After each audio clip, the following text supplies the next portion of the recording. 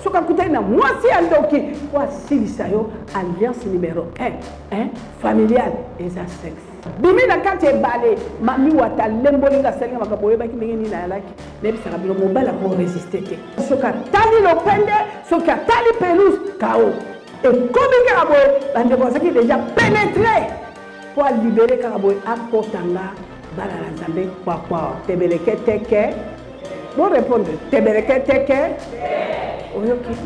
bana na nzambe nyonso nga mama na bino nasalaki na sorcellerie o na sirene des oe ela na fetichus me na nini bana na nzambe ndombo numero 1 oyo koboma mutu bandoki basale makambo ya balabala bato bakanisa kaka ndoki noko na nga tata na nga jamais soki ozalaki moto ya sexe tikala koyeba ke tout le système démoniaque ya mokili ekobebisa yo surtout le publicité na bandi okarese mwana mwasi na bandi okasi na tuni na bishoriti meme nalela yo mabe mama kalanga mwana te nalela yo mabe gabi okio otakanisi akolela mwasi nzoka akolela alela liwa abi problème ya te lokola oza na besoin keye otala puisque nga nayebi chambre na yo yo mpo mona chambre na nga mpe eza kitoko bana nzambe tokota mwana mobali na liboso nga na nsima atraverse kaka mokotaka nga nalingi nakota bana na nzambe na kweya na se motu ebeti nga makili ebimi nga na zoto ambulance ekokumba nga je fait 4 jours na koma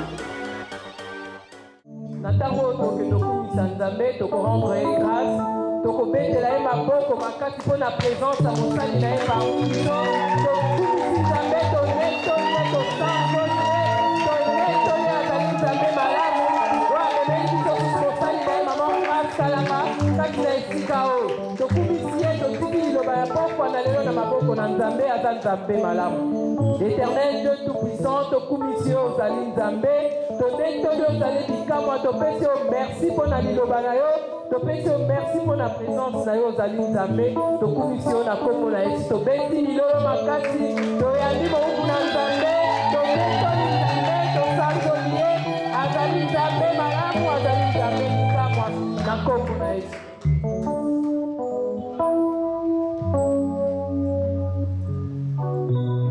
Tendre Père, je bénis ton nom, le grand Dieu, le Dieu de la Bible, le Dieu tout-puissant, Adonai.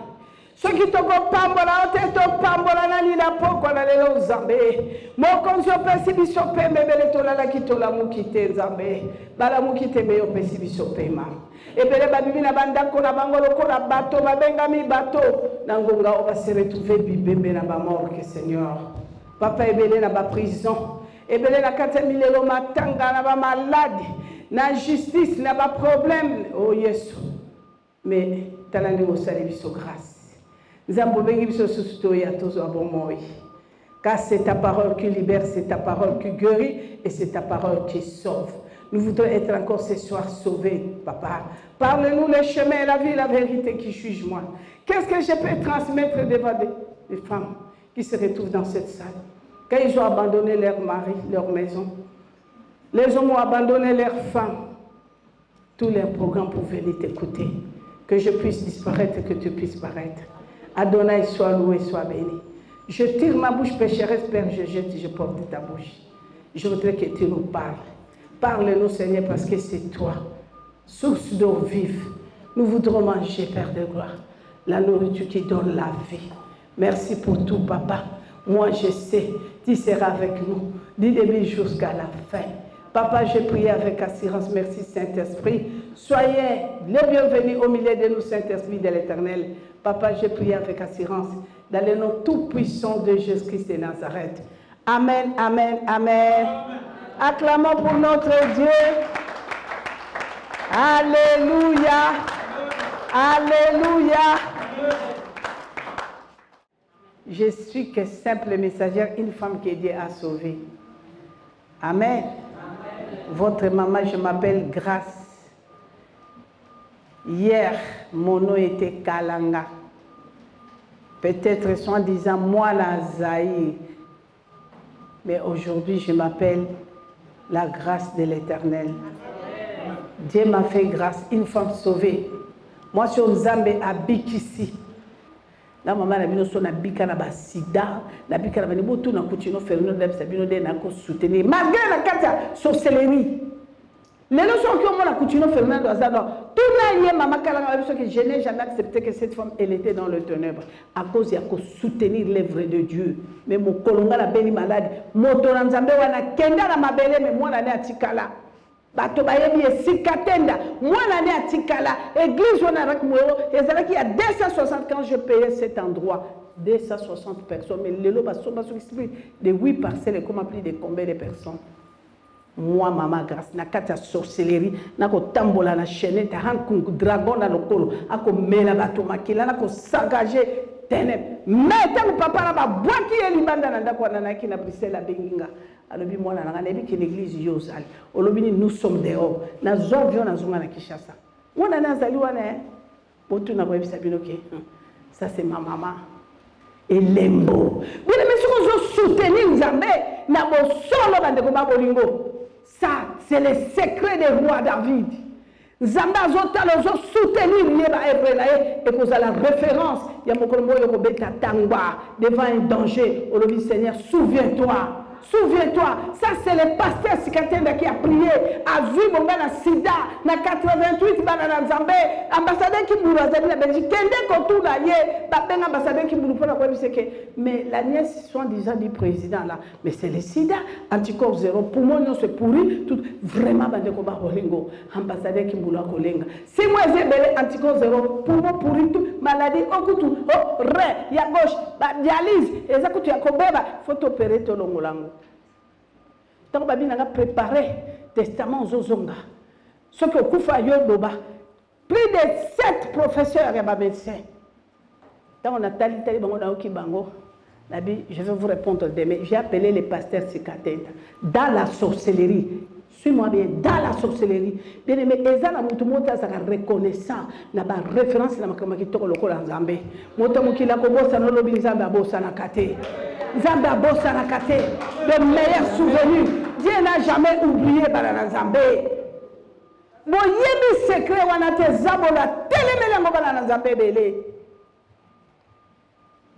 je vous parle la vérité nabenga grande soeur na nga na bible tinda benga chauffeur na nga mpo ke nozwa pasi ya sika te na le vieux il ne plie hein? mais il est parti mais l'église est là l'église de dieu vivant est là mpo moto akotikala mama grace kalanga bikamwa nakoleka mais nzambe ya bikamwa akoleka jamais Tango nyoso kobelela Nzambe ya bikamwa, Nzambe ya bilembo akoyoka yo. Puisque Nzambe ya bilembo, Nzambe ya bikamwa, ce n'est pas Mama Grace Kalanga. Cet homme d'aider à prier. Hein? Tango aye na téléphone, mama, mama tete, nabi papa nazo kufa. Sida anticorps 0 à 88. balobi na nga poumon nyonso eza ya kopola rein gauche kutu fo balongola tala tala tala tala setoma aseki ntango aseki aseki nga bile nakobisa tato nakokufa koseka alobi na ngai alobi zwa loboko no ya mobali tia na motema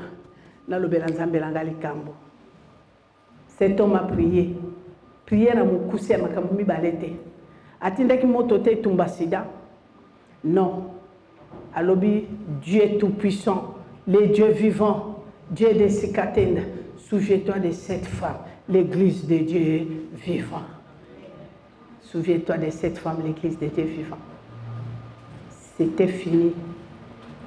Amen, amen. Et la la la butu bande ko makambo nga na mona ki somo eh bako le kala tuma batu bako na kona sida bako ki na bango bako le kala bako bako banga tala tala batu ko bibana na ko bi ko bo na mdoto bala bi na bako ki na bato yo mbango pa ki sa sida ezali ba ke lobi ka bato sida nakomolanda bango epi mame nga mpe balobaki naza nango nakomolanda bango malembe malembe bana na nzambe nga na hôpital erasme na bruxelles na 88 ntango moto na nzambe abondeli na butu nazomona vision nalandi nalandi natala borak moero bato libanda bazoyemba bandeko ba bolingo nakoti protocole avandisi nga place bavandisi nga papa sika te namoni nga bavandisi nga na fule mpo nalataki bien te alobi te bolongole me ye afandaka kuna te botye koto le protocole engabi te nalingi kaka nazala papa insiste ye moko na mikro na ye navandi place wana il a prêche balalisi bato ya sida bo bazotoka tata na ntango abondeli abondeli esili apreche esili abi non bandeko baza fatigue tika nabondela mpo na bango ntango abondeli mpo na bango bato baeskelete wana balaki abati batelemi bakomoso te nabiki nabiki nalamuka bona pongi eyalaki message nzambe apesaki nga ke cette prière là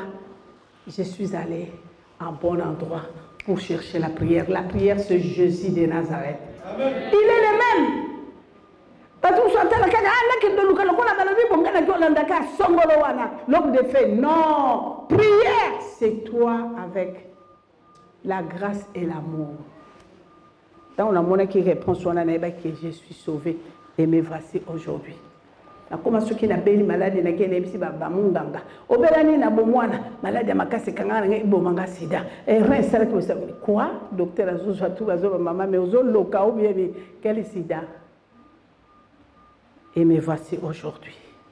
nzambe atalaki nga teke la sorcellerie naki na chainete misato na loketo chainete misato bana na nzambe ya silikoti na bamedaille ya motema na serpa na lokolo chainete misato olale batya nga na inde balobi ti okokufa kaka okufi okoti na morgue ntango bazwa bimiso mpo basukola yo nde basukola nde bafungola yango na loketo no etant que oza na bomoi mokolo kofungolaka chenete moko esili okwei makila ekauki yo na nzoto okufi chenete wana lokola komelaka mibale ya bato lelo minde nakoloba yango lelo eza makambo mosusu boyoka nini nyoka wana lokolo ayala kosala bana na nzambe le monde est sur la puissance du malin ndenge tata alobi alobi vous m'appartenez le monde m'appartient mes enfants attention le monde est sous l'emprise du diable c'est la vérité envoyé du diable nga mama na bino ndenge natelemi bo pendant 19 ans so nakoteli yo na faye na yo obebi so nakoti na kati ya bana na yo obebi so nakoti tout nyonso bokoyoka yango na lelo komona aloba te napesa bino mwa témoignage mibale lelo mai totanga nano maloba na nzambe toyoka est ce que Message oyo euti na Nzambe parce que bakoko memelo lisolo te sans référence na Bible. Bien-aimé, Nzambe alobi vous connaîtrez la vérité, la vérité vous affranchira. Tokenda kotanga liloba eza malamu mingi. Tokotanga ya liboso Jean chapitre 8 Verset 32 et puis toko sauter totangi Jean chapitre 8 verset 51. Vous connaîtrez la vérité et la vérité vous affranchira. Mm. oyoki nzambe azoloba balobi okoyeba verité verité yango nini bandeko babolingo la parole okoyeba verite verite ekofranchir yo nzambe aye liboso na biso alobi j'ai mis devant toi la vie et la mort la, maledi, la bénédiction et la malédiction choisie biso lelo toboyi kolanda nzambe tolandi malédiction tolandi zabolo nanu nakomi kuna te toyoka Verite ntango yo yoki ya maloba na Nzambe e franchir yo ya ofele parce que déclaration et l'alliance de notre Dieu ezali si aujourd'hui le diable existe ngai nabengaki jaloux parce que bana na Nzambe eza bolo tokoloba lelo eza bolo azaki mwana na Nzambe lobi ekelamu ya nzambe ya liboso me ntango ye abebisaki kotosa papa na bilaka nyonso papa apesaki ye akiti na mokili abi nake nalanda bango biso na bango toperde yango omoni izabolo alobi kalanga ayaka yo lokola yo okomi na niveau wana nalingi sikoyo nafungolo miso mine eh, oyeba deuxième monde ale yaka kalanga yo lokola okomi na niveau yaka tofungolo secret ebale bomonaka ebale te bozomona babwato babato bambisi bozomona bangando etu etu boyebaka teke mokili ezalaka kuna mai na kati ya mikolo misato na kobetolo lisolo ya ebale surtout na europe lisolo ebale nde ebomi bato mingi awa na kati na europe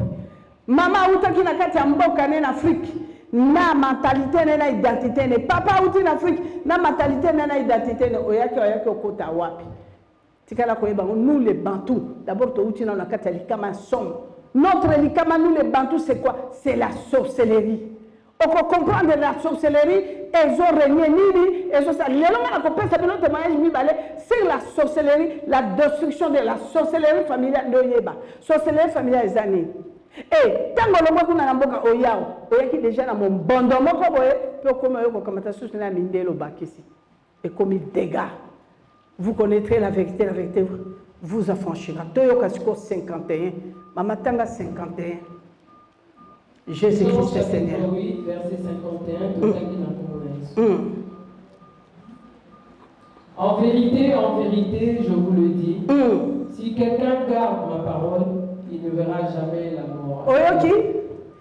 Betela nanu liloba wana maboko. En verite, en verite, je vous le dis, si quelqu'un garde ma parole, il ne verra jamais la mort. Ce n'est pas ça, maman. Ce qui m'a battu, liloba na nzambe, akomona kufa te. eloko elekela nga mama na bino nakoti te na baeglise mpo na kokende kobenda bana na nzambe oyo bakotani na nzambe kaka mpo bakufa bana na nzambe oyo nzambe azobetela bango ntango ya mutu na moi me baboyi koyoka nzambe baprefere na bango kufa en verite en verite ntango yo oyebi liloba na nzambe okomona jamais kufa bato bazokanisa kufa ezali kaka moto akoti na kati ya cercueil baki okunda ye bana na nzambe ngai nazalaki na bato bazalaki deja ya kokufa atambolaka cadavre vivant nasi nakangai nakotisa ye na kobe mpe naza komanipile ye yana bato mosusu omoni akotambola na motuka yaka esi aza moto ya bomoi nzoka asi akufi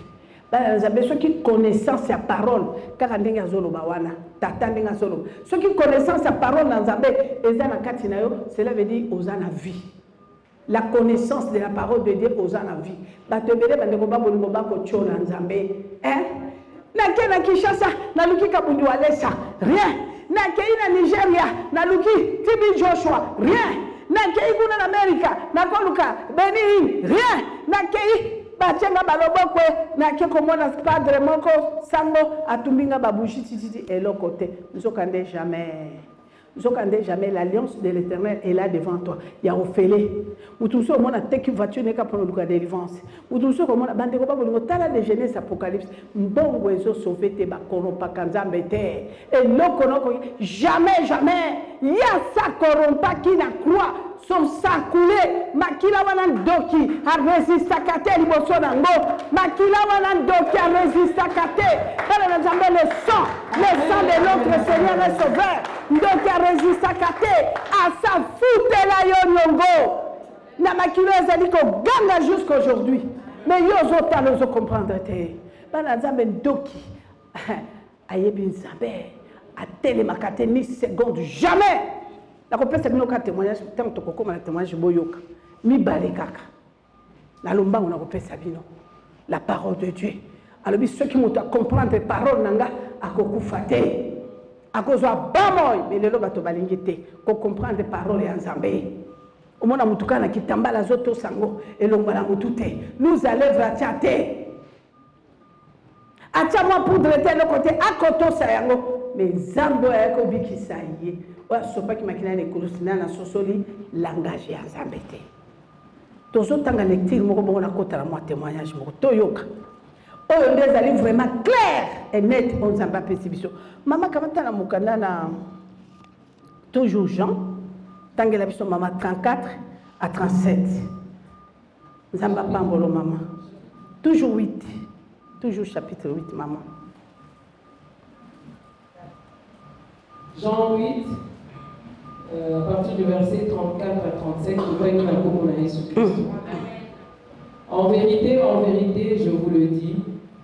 leur répliqua Jésus. Mm. Quiconque se livre au péché est esclave du péché. Esclave. Or, l'esclave ne demeure pas toujours dans la maison. Mm. Le Fils y demeure toujours. Si donc le Fils vous a franchi, vous serez réellement libre.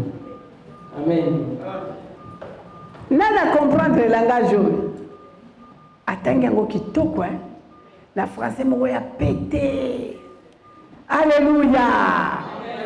bana na nzambe soki liloba na nzambe ya tata oyo okutani na ekoti na kati na yo mama motambo nyonso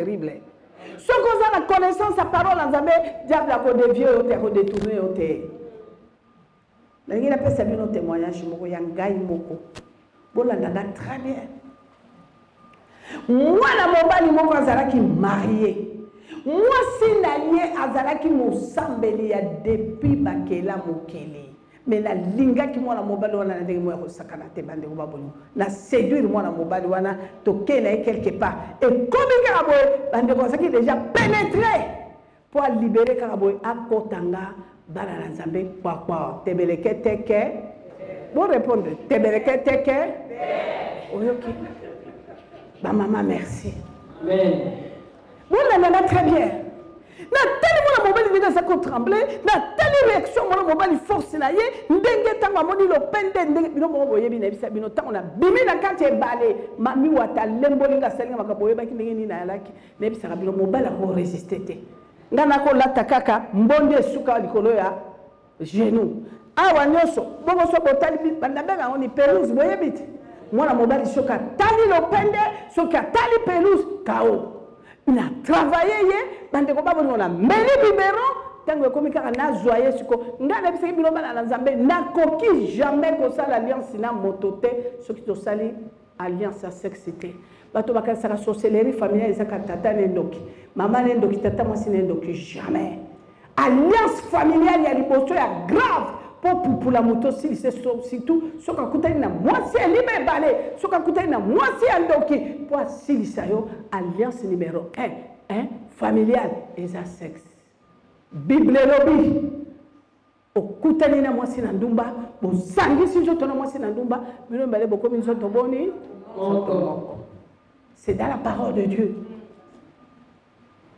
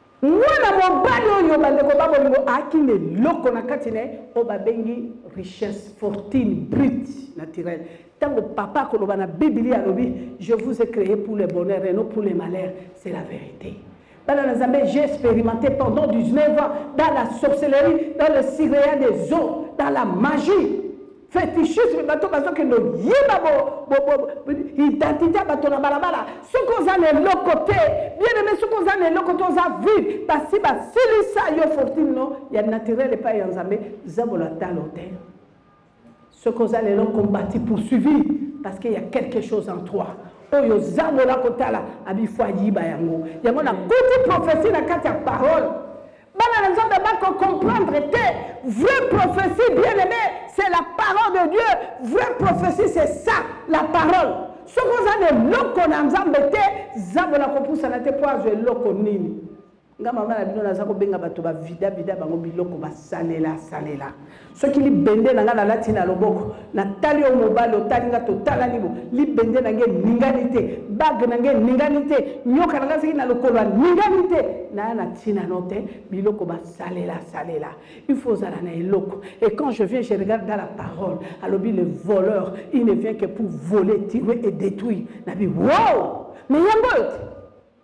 yango oyo te bandeko ba bolingo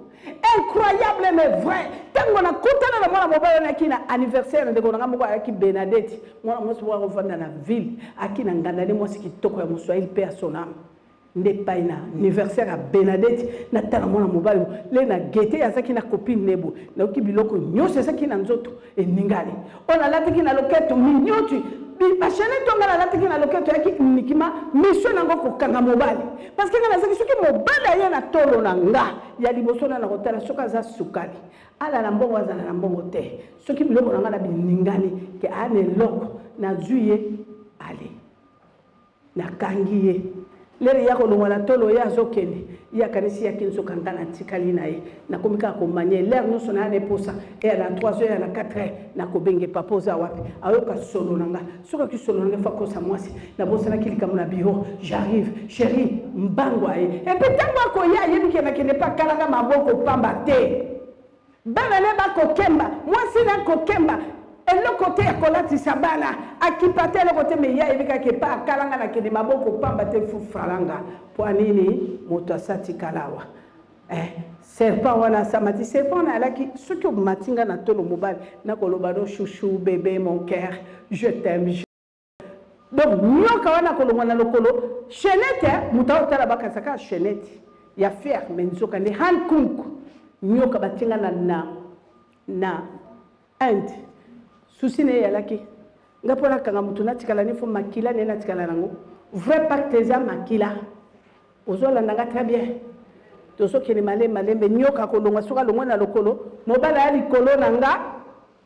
Nyoka wana alongwe na lokolo na nga, amati mobali banda na lokolo a droite ya nga, nakokose ba maloba mon cœur, oh la la, je te sens, tu es bon, oh mon bébé. Ntango akomaka awa awa, bana na Nzambe atie venin, abendi makila, abendi makila, abendi ntango naloba tchum, esili ye akiti avandi na lokolo. Sikoyo mwana mobali kende, makila lola atikali nango,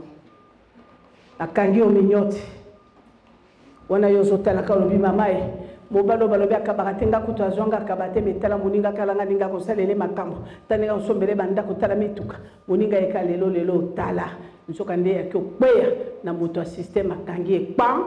epuis bana na nzambe ntango nga nasi nakangi mobali no ndenge wana atikali na tolo na nga yo okomi kaka mosufrare moto na mpasi moto na misère me mwana mobali oyo bana ekoba bolingo ntango nakutani ne na feti ya ndeko na nga bela nasepeli na ye azalaki na kopini na ye elere moko boye ngai na ye kosenga ye yaka tobina nabi na mwana na kopini na ye komitungisa te namoni mobali no azobila bien nayebi te soki yoka mwana mobali yango tanga te mpo nga mama kala nga mwana azali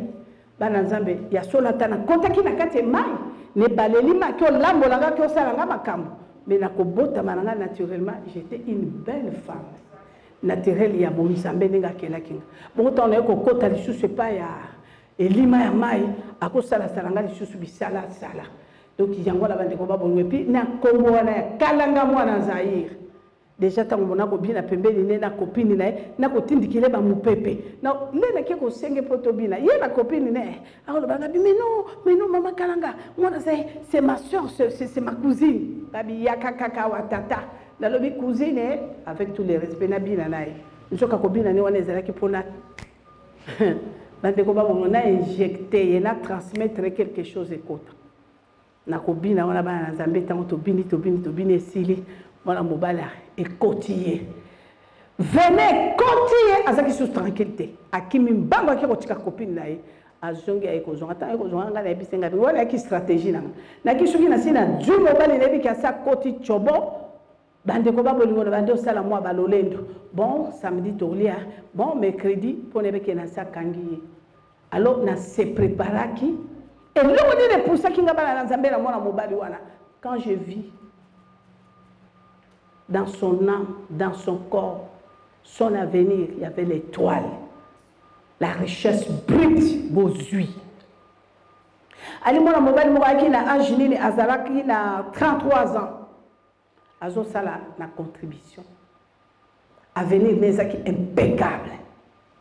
nga susi na ngai ezalaki bongo nazwa yo mwana mobali so nalingi yo yeba ete bibende na ngai bisi bilingani ye lisusu ntango nayokaki nyonso elingani naye kotala na kimobali na teste ye bien ngai nabi nakolinga ye na intere ya na vida ye fortri e en même temps azala na ngai bana na nzambe boyoka ntango toye kobima na mwana mobali wana toke kolia ngai nasi na blendaki nzoto mokolo ngo nabaki ne tokokende so tosilisi toke wapi na le village nayaki na suite na ngai moko na le village mpo mokolo le village bondo azalaki kamara na ngai apesa ngai suite moko nalala nalala te nafutaka yango kaka 6 mois 6 mois nakobenga yango abattoir boucherie soki nazwi mwana mobali na keno kuna yebaki okokota kuna basasa yo me bato bayebi te omona mwana mobali bakene basasa ye me ye akopanza sango ndenge mama kalanga mwana zaire alingi ngai ye ndenge akolela komoni te vala emachete une belle voiture nzoka belle voiture wana eloko te nasombi yango napesi yo eloko te me ngai nakovideo nde eloko ya solosolo fortune mpe vino ekokende ngai nakoloba sikoyo mpo na ngai mwasi envers mibali ndenge nakosala mi sikoyo mibali mpe bazali oyo bacollègue nanga bazalaki tokoyoka yango kaka na témoignage qu'est ce qui est arrivé bana na nzambe mwana mobali ntango akike tokende olala eyalaki un vendredi ayebisi mwasi nene amini kokende misio na bakongo ya mosala nakosala trois jours chéri nakozonga lendi nzoka nde mama kalanga mwana azali nakokumbe na batoire nakende kovide ye bandeko ba bolingo mwana mobali wana na mwasi na ye bazalaki tout le temps na église mwasi na azosambela femme de prière mobali wana mpe azosambela ma eloko nini akoboma ye connaissance ya parole yaki na mobali wana te mpo soki connaissance ya parole na kati na ye akweya impudicité te okoyoka alaki moto ya akomi awa asopi aye awa asopi akomi awa asopi Mais moto azwi connaissance ya parole nzambe alobi yango bienene ntango na kotala bana nzambe bakoreve ngai namoni makambo nino ngai na detruit bato na mokili na nzela sexe Quand je viens, je regarde dans la parole de Dieu. Nzamba alobi makambo mosusu ya bapeshe mosusu pete pete. Mais ntango akokoma na point wana alobi fouye. Tabi, mais cet homme, il est bon. C'est vraiment un bon papa. Fouillez, nga nabi mamaye. Bana na Nzambe, nyoso nga mama na bino na salaki na sorcellerie o, oh, na sirène des eaux, et na fétichisme mais na nini. Bana na Nzambe, dombo numero 1. Oyo ko boma mutu. Bandoki ba sale makambo. Ya balabala bato bakanisa kaka ndoki. Noko na nga tata na nga jamais. Soki ozaki moto ya sexe tikala koyeba ke tout le système démoniaque ya mokili ekobebisa yo surtout le publicité okofungola okotikala motakala na mwasi yo oyebi te parce que alobi mon cœur mon bonbon secret pasi bana na nzambe pasi qu'est-ce qui est arrivé nazwi mwana mobali wana tokei tole tomeli mokolo tokendeka epai ya bernadette tole tole na nini monganza ye aliaki mboto ya, ya supu basalaki yango na ba eh, nini eh, babenga yango nini eh, eh, babengaka yango ni bandeko na nga te mwa banyama na biso ebimisa mafuta ebe pose nzambe apambolo tole tole bana na nzambe toyei kokende na m16 tobimi toyei kokende na boite ya limeti na bo marché kuna barumbu epa ya igo tobimi tobimi nga wana nakumbi mwana mobali bandeko mwasi ayebi ke mobali akei matadi nzoka mobali na rendez-vous ya kufa combien de personnes awa combien de fois tozwi ba rendez-vous ya kufa parce que oyoki moto akoloba kitoko olobi aza peringa abenga na kende moninga alingi asunga nga okendeki otekama wapi o naloba ya yo te me yoka yanga onga mama no nakosala mwana mobali alati bien mwana mobali aye bien bebe mwana mobali azwi nga toke tole maboki esili toke tobini tobini vers 2 heures du matin na bando meme na batoire Hotel le village mutu tu ayebi yango ya kinois ezali kokoti na voiture na oyo oparke esili cle ye ekuti yo kaka na bokoti encore ezalaki suite na bandi okarese mwana mwasi na bandi okasi natuni na bishoriti meme nalela yo mabe mama kalanga mwana te nalela yo mabe gabi okio moto akanisi akolela mwasi nzoka akolela alela liwa tala epai okufaki sanke oyeba bien aime wana sikoyo nakoloba mpo na ngai mwasi na kosalela mobali sikoyo yo kotakota wapi basimbasimba yo wapi batusha yo nani amela soi na yo ya monoko communication ya bushi ki nakolobelo ya moto mosusu te nalobelo ya nga moko nasepeli nga bilelo nazwi nazwi nkolo tovandi botie esili nga binale nasana na mposa biberon j'ai envie de biberon mwana mobali apesi nga biberon eloko ya liboso bandeko babongoyaki puisque premier alliance na ngai nasala na ye ezaki fo nalongole tous les poils avandi mpe à l'aise naki na mwa po na ngai moko nabongisaki te betango nalongoli ye poil nalongoli nabongisi ye très bien ale natie sikoyo yango na mwa eloko wana ngai bine papa naki kotala manzaka no te natali ye manzaka tusala nabongisi nakamati natie mwa makolo mpo ngai nalaki bongo eloko ya liboso travail ya liboso fo nazwa yo bana bana na nzambe mpasi mpe mawar ntango nakomona na kati ya bakishasa na baafrike mwana mobali akoleka na eloko na moto alobi o moto na verni aye akamati ya bando kapto manza kotie bakolongola oposo ya makolo eya na bachrétien jusqu'aujourd'hui balongola bango poso ya makolo nake kosala pelekile na kosa osambelaka mpo na poso ya makolo na yo poso ya makolo ya moto ezali vie ya moto nano tokomi kuna te nabongisi ye manzaka nabongisi ye makolo abandobanda babi ma cherie mwasi na ya nde na ndako villageoise ye kutu amona nga lisusu te mpe modele okosala nga bo esili o tata e batata boya moke na sali batata e ntango bakululi yo bakululi olobi oyo nayade kuna bando soki nabengi ye kaka abe na nandimaka ata moker chouchou eyali te poso ya makolo akotuna mpe mwasi na bi yo bandanga na jwa yo yo so longola nga posa makolo yo longola nga mwa mitoki yo sala ngo kata nga mataka nazwa mwa pongi lalala eloko te talela nga mama oyo kaloba na nga kala nga wana mwana azali ndoki oyo asalaka nga yo osalaka ngo nzoka nde moto abebi yo moto atekami o bana na nzambe ntango nalongoli ye poile nabongisi ye benga bise chéri parce que modele oyo tosala nga no bagymnastika naboyi manzaka eh, eswanga ezokisa nga ya pas de problème mon amour mon cœur nga wana bandeko na kati manzaka nalongoli bapoile mpo swa makolo na se nabongisi ye na mandi kotie poudre abi ah otyela lisusu mpe poudre eloko abebonga mpe poudre oyo nakotyo ezali nde mpo na kozwa ngai na ya napangoso trebe moto alobi nazwi mwasi nzoka moto akokota cimetiere bakovide ye ntango esili ale biberon bana na nzambe na bandi biberon na bandi biberon moto akomi kaka na action bana na nzambe kaka mpo abanda cekecekecekece ce oh mais qu'est ce qui se passe natali ngabi papa abi mais c'est quoi oyo oh, nini mais jamais vu ekomelanga nanu te mamakelanga makambo nini ongalamwangabi papa tata lokola yo bo tata molanga na mwana moto elombe oyo ngai namoni ye nde oza tebeleke te ke be alobi te mama nabandi lisusu travail nabandi lisusu travail rien nabandi lisusu travail bana na nzambe eloko te nabi ntango mosusu lokola tomelaki mwa masanga na mele seke mwa amalula amalula lere lokola miliki ya meli elengi vitesse nabi te alala pongi mwa moba alali pongi na 14 heure bonga bitoli ya mwa moke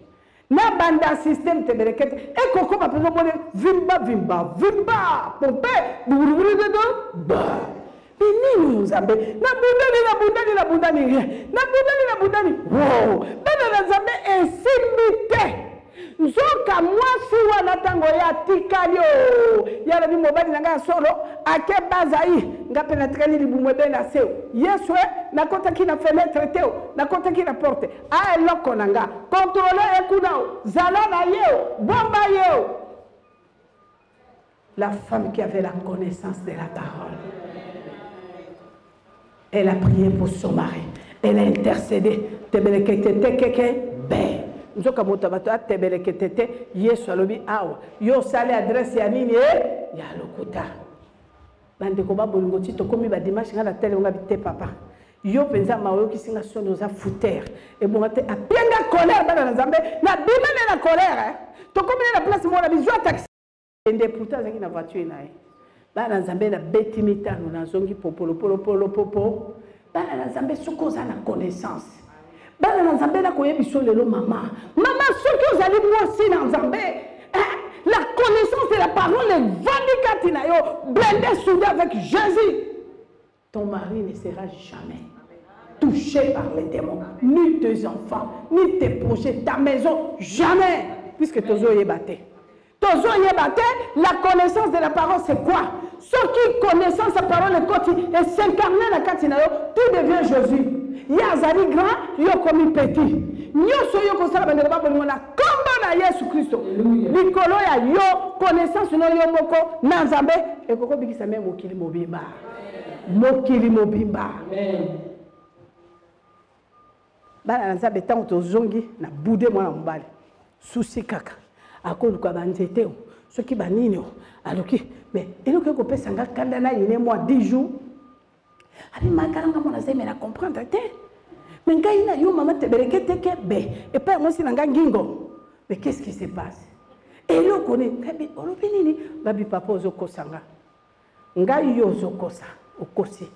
soki eza mpenza epa mwasi no gingo bona ebe eloko ekomaki te bo prouve moi aussi mwana mobali akozwa bacomplime akozwa baboye akozwa babi na ngai lelo okoyoka ngai mpenza ke na ya ya solo solo ngai bi etumba eya kaka si tokende biso na bandeko toke tobandi susu koluka bwa toluka ye bwa toluka gugugu vimbavimba tikikikikbalabaketekete be o oh. mais qu'est ce qui se passe mon dieu kabini papa opesika ngabe ale vatan nalingi siko sentir yo te nayaki kotika mwana mobali wana siko boyoka ntango ngai navandi ye azokontinue kaka kofrekante nga kofrekante nga okosusu ngai nayebisa ngai abi nkombo na elaki toma nakobenge thomas gabi toma oyebi eloko na koyebisa yo oyaka na ndako na ngai mingi bandeko boyoka nakanisi tozomona meme na europe soki oza na adresse te Bafuto mbongo. Bapeso mukanda, faut bayeba adresse na yo. C'est tout à fait comme dans la sorcellerie. Tanga na ebaki mwana mobali naki déjà sirène des eaux, nazalaki déjà bande ko ba bono na kata sorcellerie, ba magie maya sese vandi kati nanga, ba franc-maçonnerie, na kotanga na visita ba ekanka tout. ba Mike Carré tout nayebisi ngai nabi tala ofréquente nga mingi hein? problème na ngai ezalaki nini problème na ngai ezalaki nakoma na adresse na ye na ndako na ye nasala ne likambo moko na kati ya ndako na ye nayebisa nga na bi oyebi yo oyebi adresse na nga banda nayebi ça fait deux ans yango ya nga nayebi adresse no te laisse-moi que je vienne aussi chez toi abe ah oui c'est très bien mais tozela mwasi na nga akokende soki mwasi na nga voyage tokoya oya na ndako na nga ya pas de problème nazobongisa yango dans deux semaines et demi mwasi na nga azokende akendeki dans deux semaines et demi te aye kokende dans dans un mois aye kovoyage ntango aye kovoyage abi bon je t'amène chez moi nabi ntango tokokende ndako no ezali mpo tokende kuna tovanda boye te yo oza na bana mibale mwana moko aya na sénégal mwana moko aya na poto sikoyo tokokende ndenge nini oh bon ya pas de problème moi chambre moko ya bapaya kuna soki tola ntina ntongo ma femme n'est pas là ya pas de problème na blende nzoto nazwi ya lolemo na ce nazwi ya gutu ya miso na ce ya manzaka na blende bandeko babolingo oyo mpe ya pesa mulu passage nyonso na blende nga bilelo nde bandeko tokei ya kobwaka mpe na mwa baporte nyonso nabongisi ntango toke tokoti na ndako na bana na nzambe avant na banda kosala action nayaki na eloko moko ifo na communike na monde wana nazosola na bato ya mai bakopesa nga stratégie sala bosala bosala bana na nzambe kaka kokotaka na lopango ya mwana mobala ntango nakoti mpo nayoki mpenza eloko nazalaki na yango communication coupe pak nabibe sekwa naningani naningani nasangi kimia ntango nakomi na ndako na bino etalisanga toilette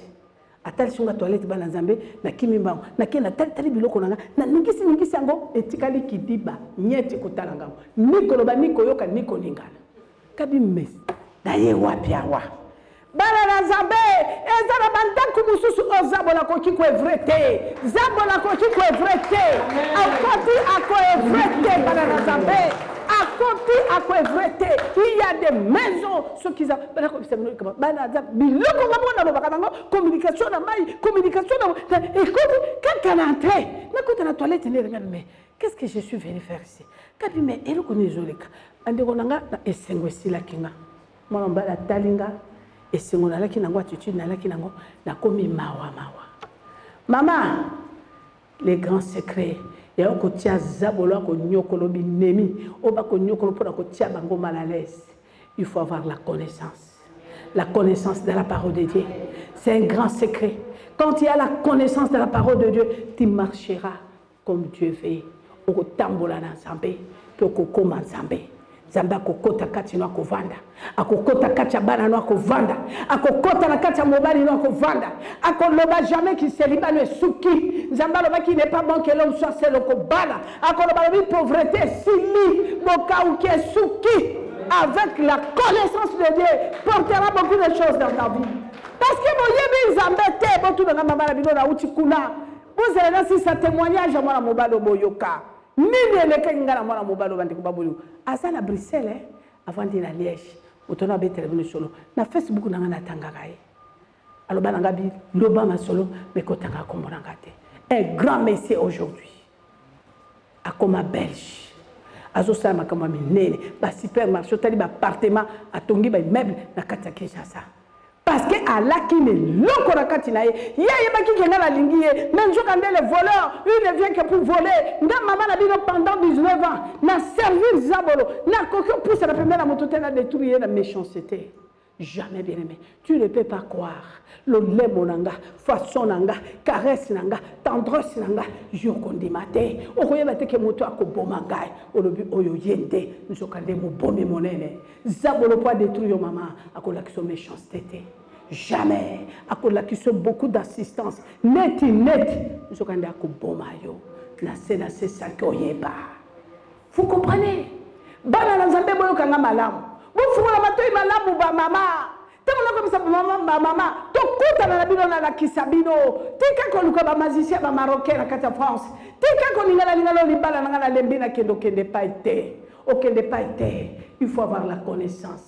dans la parole de Dieu. Oyeba Yesu alingi nini? Yesu akosengo mbongo te mama. Yesu akosengo bibili te. Opesa 1000, opesa 500, pesa boye. Jamais, jamais, jamais, jamais, jamais. Yesu aza na besoin ya ofele. Abitala eloko nga nalingi mpo na yo. Tambola boye omona. Namono ndenge okosepela. soki osepeli ozwi ngai nakosepela okosepelisa ngai nakoforce yo te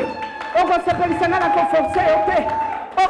akoloba ngo alobi soki osepeli ngai okosepelisa ngai nakotundi kote mpo osepelisa ngai okosesanti kolobi oui dieu m'a béni je veux aussi la bénir c'est comme ça avec dieu bien aimé eloko nini ekosalema bana na nzambe nalobi na mwana mobali ngai bi arrange toi mema ngai na ndako no ntango nakomi na ndako na ngai na ndako na ye biloko nyonso bagardefour nyonso nasalaki tous les techniques système nyonso ngai nakotoki na kati ya ndako wana nayoki bubu nabi mais qu'est ce qui se passe mais nini oyo nayebi bototala sikoyo nasololi na mwana mobali ntango tosilisi alobi na nga tokende olala na chambre ya bapaya ngai nalobi mai non ekozala ntango mosusu puiske ngai nasali na mwana mobali oyo alliance te so nasali na alliance comme alaki kobetela nga lisolo ma femme ye akobetela nga lisolo mwasi ne alobi mama kalanga ngeli kolangela mwasi na nga mwasi na nga aza na compréhension chronique ngabi compréhension chronique cela veut dire quoi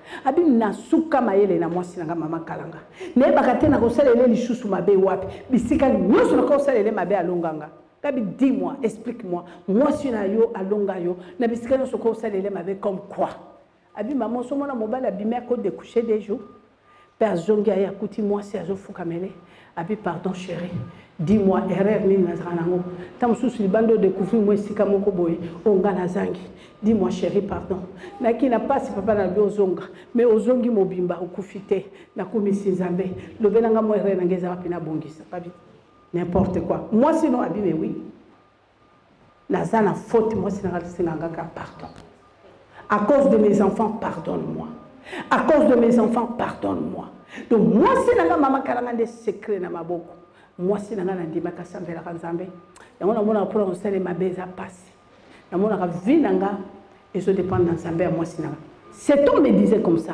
comme ça etango natali yango lere nakoti na ndako wana ntango na bine mwasi na yo azala il faut nakoma na ndako no puiske yo oyebi adresse na nga oyebi objectif nini ngai nazalaki na yango préparation oyo ngai nazalaki na yango ezalaki nakota na ndako na ye Pas question ya chambre ya bapaya kaka na lit conjugal na ye soki akumbi nga na mbetu na ye oyo balalaka na mwasi na ye système kao efrakata ekoti yo puiske ezalaki bongo ngai naki mpo na resir mwana mobali ifo omema ngai na ndako na yo soki omemi ngai na ndako na yo ale zoba sopaner omatisi ngai na mbeto ya mwasi na yo fini me mwasi oyo nazalaki ganke ndenge nini bokomi depouille na yo na mwasi okotisi mbindo na kati na ndako na yo et quand je suis arrivé na kati ya ndako na bango alobi nanga tokende kolala na chambre ya bapaya nga mpe tokende kolala na chambre ya bapaya te pwani ta femme n'est pas là naya na posa kaka yo tokende lokaka na mbetu na yo na mwasi na yo alobi mama tout sauf ça tout sauf ça nga na tuni poane na bi mama na yebisa koke mwasi wana aza lokola mwa petit die na nga protection na oyo obaki na nga okoma na ndako na ngo oyeba adresse na yako lakisi adresse lokola obaki okopase nuit yango nalekisi yo na chambre ya bapaya mais pourquoi yo olingi kaka na chambre ya mwasi na nga Gabi papa esala eloko te soki mpe tokolala te nasa mpe kilie namona kaka chambre na yo olalaka eza ndenge nini parce que ngai nalaki na caractère wana ngai nazaki soko olingi na détruire yo nakokoti so na chambre na ngai ata nakosala na eloko te surtout soki oza loka supane yaka na visite chambre na okoti kaka na chambre na ngai nakangi chambre mwata seconde fini otikali kuna alors ngai nayebaki kaka ke ata tokosala na eloko te l'essentiel akotisa ngai kaka na chambre oyo balalaka bana na nzambe nalobi na mwana mobali nalobi na mwana mobali nalobi na mwana mobali ekomi na lere moko boye mwana mobali aye kondima abi probleme ya te lokola oza na bezo keye otala puiske ngai nayebi chambre na yo yo mpo mona chambre na ngai mpe eza kitoko bana na nzambe toyokota mwana mobali na liboso ngai na nsima a traverse ka moko ntango kanga nalingi nakota bana na nzambe na kweya na se motu ebeti nga makila ebimi nga na zolo ambulance eye kokumba nga j'ai fait 4 jours na coma 4 jours na coma mais acclame pour notre dieu acclame acclame pour notre dieu acclame betela yesu maboko betela jésus maboko betela yesu maboko bolembe bien aime na beti nino mpo ye azalaki liboso motu nsima na ngai azalaki te na beti oyo na se makila ebimi ngai nazolo mwana mobali abengi ambulance je fais 4 jours na clinique oyo babengaki clinique kinoise 4 jours perdu connaissance bana na nzambe ntango na pemi na hôpital namoni grande sœur na nga mado onga na landi ya mputu azotuna nga nini leki na nga problème ne nabi tokosolola nsima nabi wapi thomas mais thomas moto abengaki ngai ye moto asala makambo nyonso to likambo ezali nga bi problème ya te naye kosala deux jours baye kobimisa nga bandeko ntango baye kobimisa nga nabimi tala kaka ndenge ndoki aza orgueilleuse et j'avais compris que nakendeki kotouche nakendeki kokota epai oyo bakotaka te epai oyo basimbaka te nasukaki nayini toms vi na nga mobimba nakomi soki namoni toms bona aleki boye soki akomaki ennemi na nga numero eh. okoyoka bana na nzambe il était le vainqueur de vainqueur ntango naye kosonde naye kosonde naye kolandalanda naye kolandalanda baye kobisanga balobi moto wana kana mwasi moko jamais vie mwasi wana bonzambe oyo eza na kati na ye jamais vie tala pourkui lelo tokoyengayenga tokoyengayenga parce que tokoluka nzambe na bosolo te boyoki na malamu bana nzambe boyoka sikoyoka Ezalaki na mwana mobali moko wana alaki ndeko na ngai mkwakalonshi ya bafamille ya bamama na ngai moluba trafiquant akoevolue très bien na ngonga wana trafiquant wana alaki na mbongo na ye azalaki na ye na baavion na ye babengaki ye na otanga nkombo na ye te na ngai natanga nkombo na ye me na otanga nkombo na ye te puiske na témoignage ntango na bandaki na mbujumayi je cité son nom hein. akufa azalaka na baavion akufa bala kobenge zairoi esala eloko te naloba puiske naloba ngo na kati ya mboka ne famille ne bayoka mwana mobali obana na nzambe boyoka très bien azalaki na mwasi na ye mwasi wana alaki kosambela somo na priere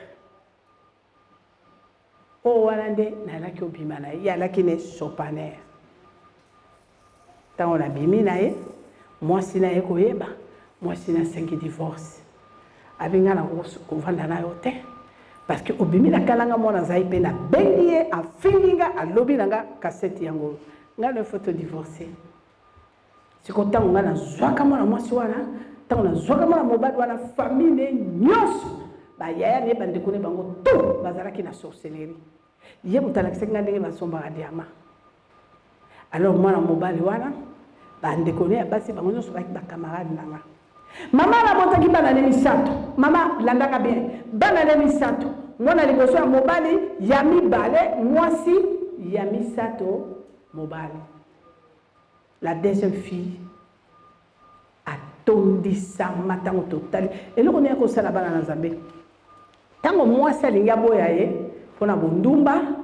abondeli mwasi nabondeli mwasi nasombeli mwasi ne ndako ya sika asombeli mwasi ne voiture bazongani sikoyo tata wana aza ewa aboyinga ntango aboyi nga tosali sikoyo ekiri na bafamile na ye lokola bafamile balaki kolinga ngai nayaki kosafula bango ngai nasombaki bafamile na ye alo bafamile balingaki mwasi wana te eloko nde balingelaki mwasi wana te parce que elle était la femme de prière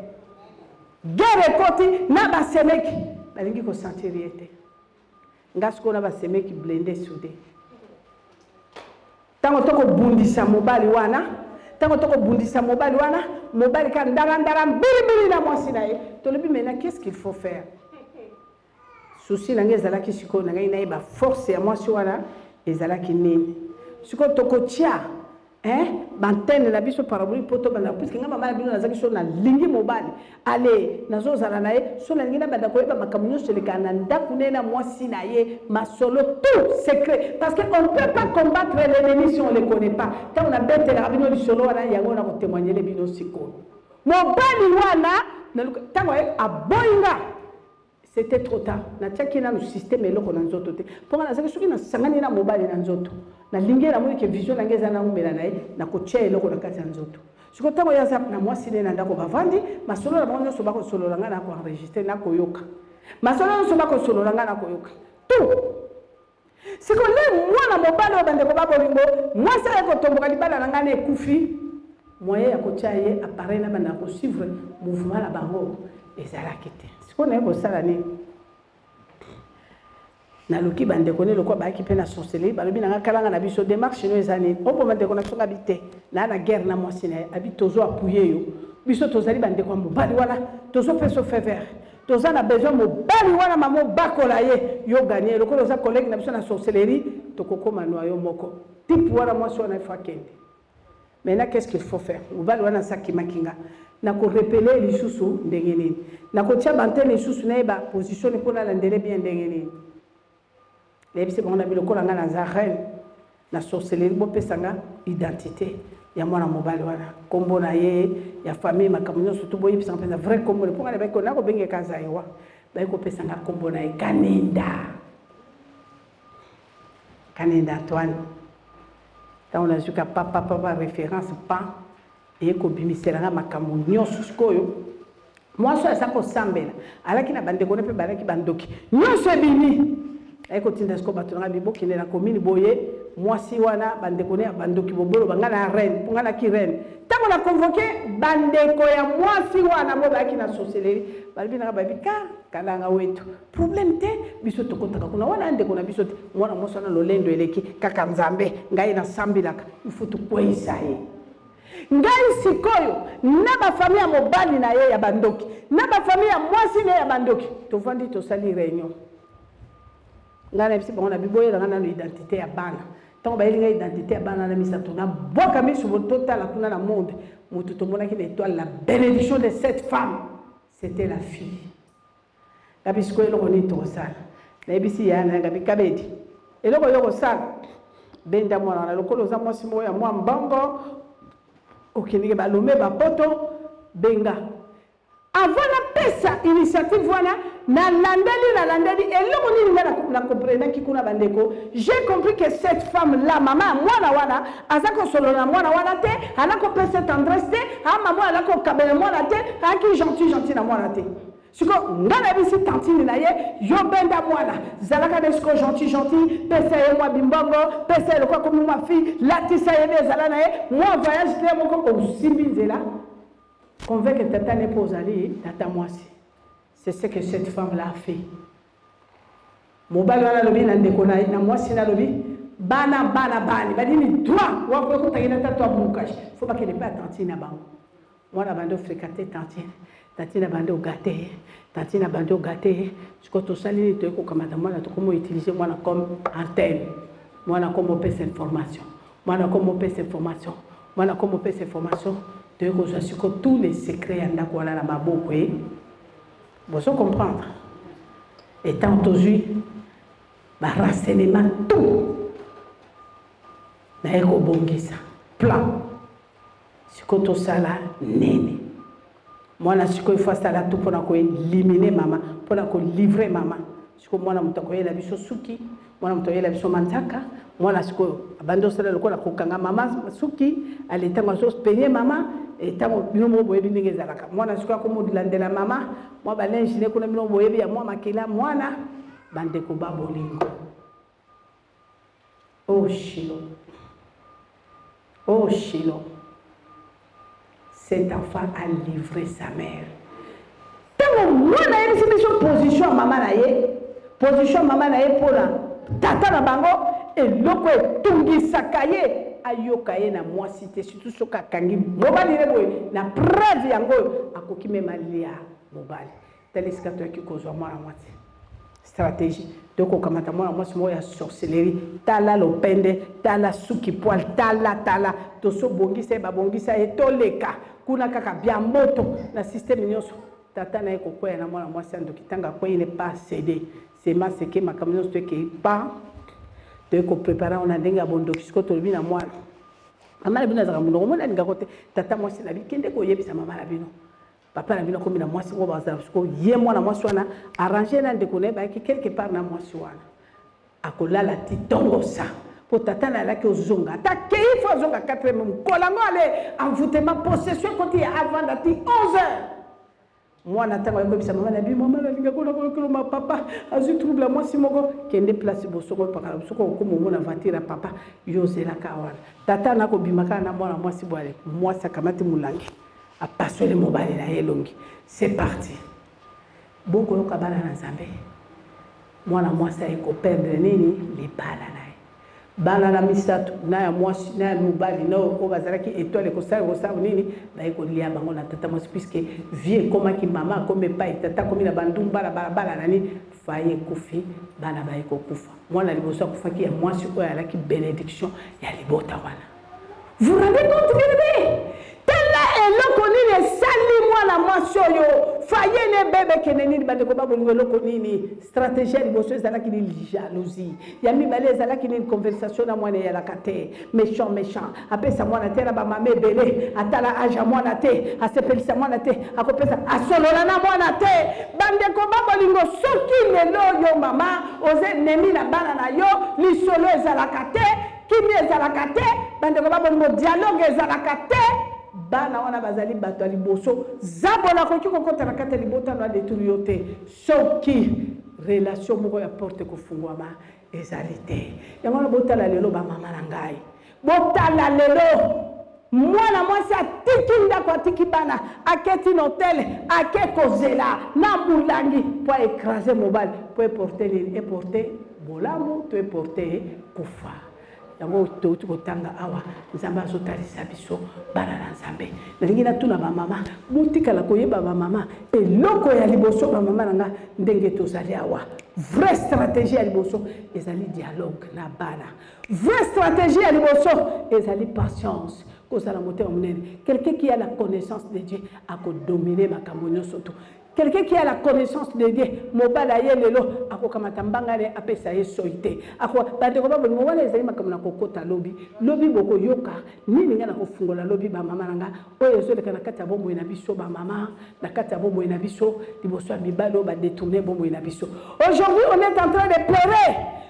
tozolela mpo na nini mama nga nakobetela yo lisolo ya moto mosusu te nakobetela yo lisolo na nga nakanisi outi koyoka mwa moke nafungoleli yo nakanisi boyoki mwasi mwasi oyo azalaki blende mobali akende dekushe alobi ee eh, eh, eh, oyo zabola koya bateyi nga na nzambe nazala prudente bateyi nga na nzambe na domine systeme ya zabolo mobali na nga keko dekushe oyo eza systeme ya zabolo mpo libala na nga ekufa je vais patienter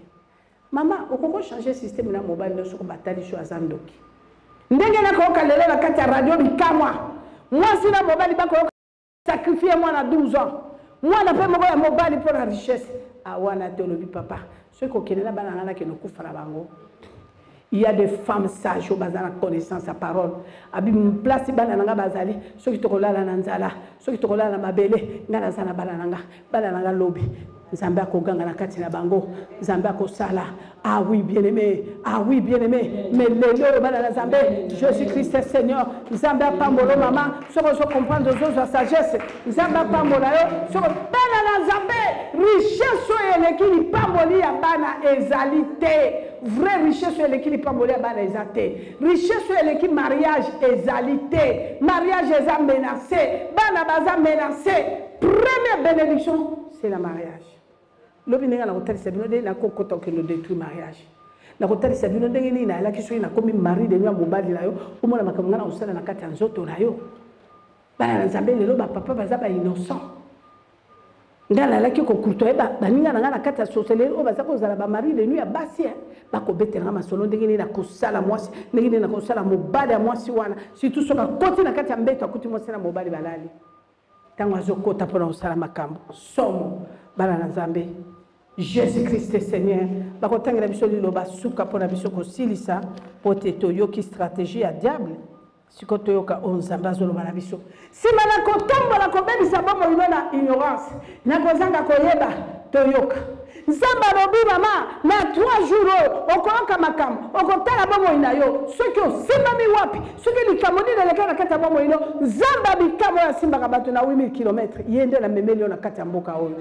Ntango mosusu okotala boye, olobi baza wapi, fale tozala ebele jamais. yo oyo ozali ya nde nzambe atangaki na kati ya 3 jours okokangolama mpo toleli mingi totelengani mingi totuni nzambe mituna ebele nga nabali mpo nini na nga ka boye naye na europe mpo na nini lelo 15 ans mpo na nini nga ka bo chômage bandeko babolingo mobondo wana ya misère eza nzambe te lobi nakofungola bino bokomprendre boyeba ndenge nini zabolo azosala Mais lelo na opesa bino passage ya muke po bo comprendre que il est venu opérer les miracles instantanés. Bazo tangela biso simba na ko telengana telengana toyoka. Nakanisi bo comprendre bana na Nzambe. Vrai miracle c'est la connaissance. okokende te ko je vais aller agresser les démons jamais okende te o nakende ofunda noko na nga jamais démon akoya ti ata na physique bona ndako na yo akozwa kao puiske loboko na nzambe ezali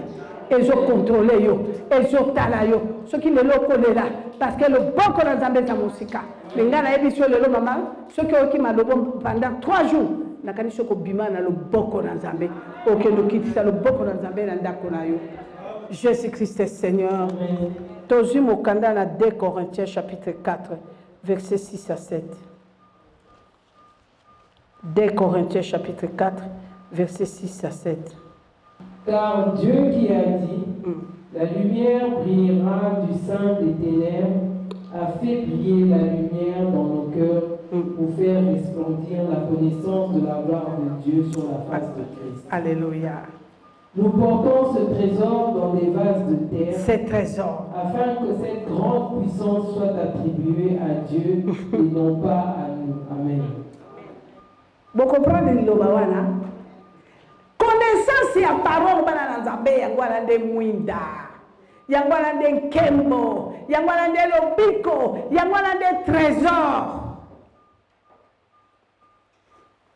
lobi nakokota na de point ya témoignage bokocomprendre malobo mwasi na nzambe atangi bocomprendre yango très bien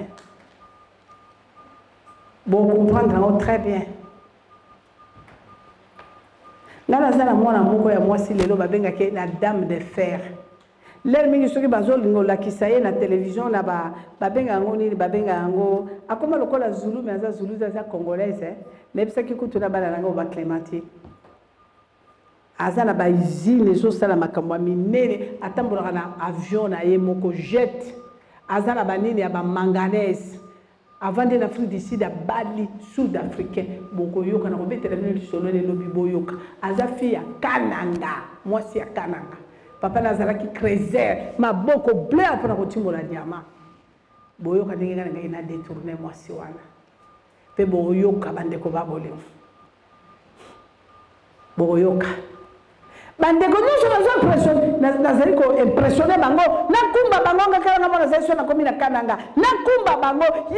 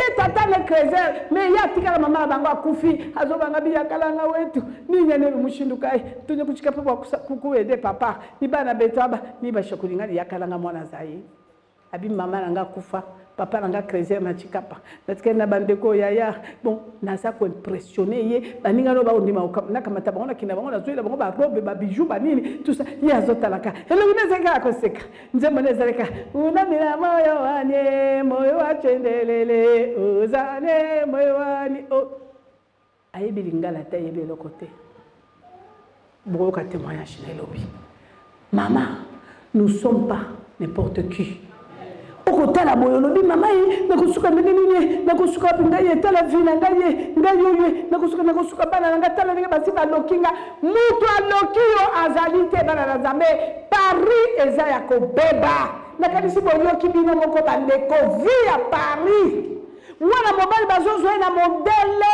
atya bambwa 6 alobi yaka okovanda pendant six mois banda kotambola na bango papa soki otye bango bazemi ngai nakopesa yo autant de boyokaka yango te na radio boyokaki te boyokaki e mbwa motoba pendant six mois akoki otya bango zemi te 4 bazwi zemi bafuti ye 400 mille mais lelo omona motani wana na jupe une belle maison yo envie olobi nzambe tala baninga to akotika na mokili yo koko ozwa riske no bien aimé nzambe oyo soki botikaki no couche shengo tya ezemi me bokaki mwana na biso wana na brazzaville ake koluka vie na braza mwana mwasi mundele akovivre na bi nake na kishasa amoni effectivement ta mère souffre mama nazo souffrir me nangi nalakisa likambo moko soki osali yango obimi porteur ya eloko wana okozwa mbongo boyokaki te se azwaki zemi akendeki kobota na inde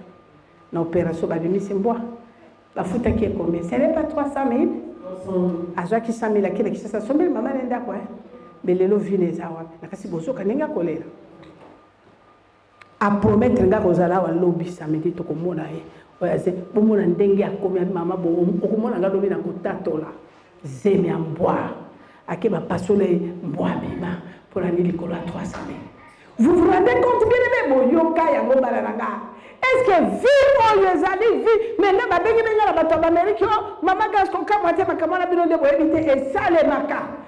ezosalema mingi na kuku eza ba batrafike ya bana basi oyo baza koporte bazemi ya bambwa mbwa wana akoporte akobima mbwa me aza nde mutu na kati ya mbwa e bambwa wana bato bakosala makambo wana kokumbisa bana basi wana bazemi ya mbwa baa bariche eza la haute trafique du monde ngai ya mbala liboso nayoka yango na bikama ntango baye kotatola nayebaki te me nakanisi boyoki mwana ya generale boyoki bino mwana ya general et grand general e eh, mwana wana mpe alaki soda akendeki na ye fo aya kokoma mpe bakapitene bakendaki groupe moko na bandeko ne nakotanga nkombo atemi bandeko ne nyonso balandaki ye nani balobi nanga mama toyebi ye c'est notre frère papa nayaki moto assiste papa nakufi na belgique ya pas longtemps me boyoki mwana wana ndenge abimisi makambo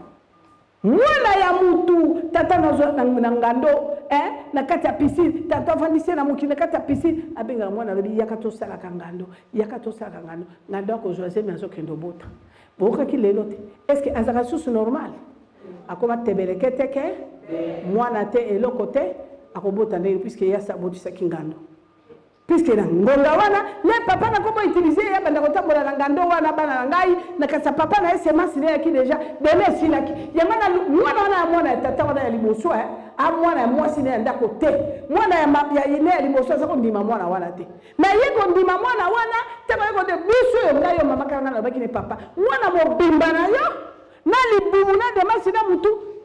ayaka ko récupérer mwana na mais tanga moni eloko na kati ya mwana aye kolinge koleka bana ne nyonso kaka ye nde moto asombelaka mituka kaka ye nde moto agataka ba voyage nzoka nde mwana tata aza koutilize na ngando na ye mais boyokaki te abi mama na mwasi ya tata nasalaki nini akumba ngando akima na ngando akende okimisa yango nga mama na bino navanda na lopango ya tata wana na mbinza wana tovandi nebo na bakiti ngando wana yawa tala libumu tala mafuta ngando nga nakamata makolo na nga mama ya bino nalongoli lipola nabakisi makolo likolo ya ngando nde nakasi ngando yango ngabimi o oh, ngando nalobo abimakala nga kotisa loboko nakamata loboko na nga nakotisi ngando wana bona monoko bandeko ngando akangi minu bonga nakasi akata nga loboko akata nga te est ce que wana alaki ngando mais lelo tala bagénéral wana kaka bango moto baza ko regne kaka bango surtout ye batambwisa ye baentreprise nyonso alaki kaka grand mbango akosakana te mais nzoka nde yo okufi awa osimbi matoi okolela ngai ye mpasi ye tala baninga depuis nakoti armée nayaka capitaine nazaka lieutenant angai ye angai ye mais nzoka nde baninga bakomata na systeme yo awa okolela yango nayebi si yo mwasi na nzambe kolela te mpo na lelo nga mama na bino nasuki awa nasuki awa tobetela jésus christ maboko jésus christ est seigneur jésus christ est seigneur nasengi na yo nasengi na yo lelo ezalaki introduction lobi nde tozokota na mozindo ya likambo parce que esengeli toyeba bomoi na biso totekaki yango wapi soki ocomprendre monguna na yo je pense que prière oyo tolobaka au nom de jésus eya masasi oyo tobetaka nango banguna soki monguna aza na droite yo oza na gauche yebisa nga Mongolo aza na droite yo ozo beta masasi na gauche ekosimba ye mais soki oyebi ke ye atelemi okalikile ye masasi akosala nini akokweya nauti kopesa bino ka exemple moke ndako ya mwasi ya bato chambre ya mwasi na nzambe oyo oh, jésus akita asincarna nakotaki estce mwasi mobali wa moto abetaki nga mwasi wana azalaki wana na natutaki nga kao Jésus Christ de Nazareth. Que le Seigneur vous bénisse. Amen. Monsanto na Israël kosi na libota na Yuda le roi des rois, oh tendre père. Adonai, Maranatha, Shilo,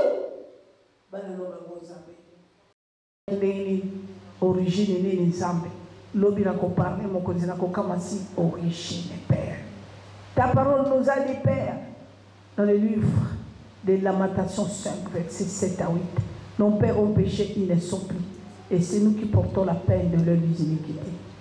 Et les esclaves dominent sur nous et personne ne nous délivre. Père, liloba na yo ebimaka pamba te nzambe yango na ngai nakoloba nini papa napikoli monoko na ngai masumu nabwaki nkolo nini ngai nakotransmettre peuple oyo ngai nani mpo na kobikisa na disparaitre oparaître nalati monoko na nzambe nakei komenance systeme nyonso père Système nyonso nzambe elakata ignorance système nyonso père oyo moto abengaki moto alobi pinga abengi moto alobi macheri moncheri nakozanga koyeba nzambe na kwa nini mokonzi na kokamwa na système nini na position nini mekokosalamela bana no tata Nzambe na bomoi nga moto nakendaki na ebale nake koluka sexe artificiel me yo oyebi yo nga nazwaki comme condition balobi mwana nga nakobota parti ya ngonga wana akomi tati wata soki mwana akokisi 10 akomi mobali na ngai o oh, yesu nayebi te nzambe na kati na sali awa